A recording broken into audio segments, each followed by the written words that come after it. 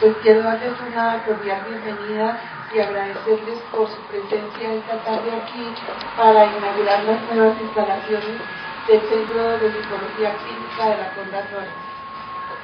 eh, para todos nosotros es profundamente satisfactorio entregar este moderno centro dotado con los recursos humanos y tecnológicos eh, que están a nuestro alcance para ofrecer atención psicológica a la población más vulnerable y pobre de nuestra ciudad.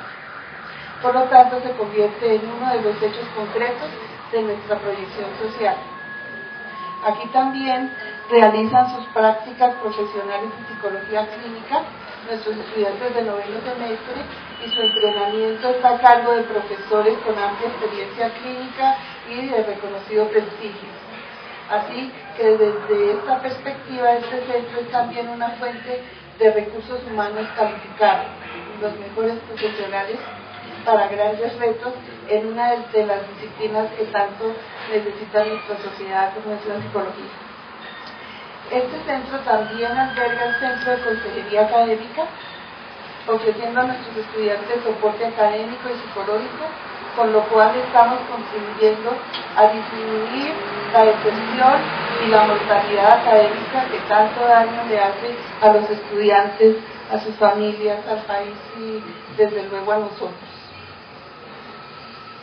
Eh, pero este centro no se concentra exclusivamente en la, disminución de la pérdida académica, se dedica con decisión, conocimiento y compromiso a fomentar la permanencia de los estudiantes en sus diferentes programas, incentivando el buen desempeño académico a través de tutorías y de talleres de recuperación académica eh, y en las asignaturas que denominamos de alto riesgo. Y contamos para ello con profesores de planta con horarios asignados especialmente para tal fin. Además, ofrece apoyo psicológico y soporte para la construcción del proyecto de vida de nuestros estudiantes. Yo quiero en nombre de toda la comunidad conradista y en el mío propio agradecer a todos los miembros del Consejo Superior y al doctor Aragón en especial, a todos y cada uno de los miembros de la universidad por el apoyo y confianza depositada en todos nosotros para que hoy podamos celebrar este logro que demuestra claramente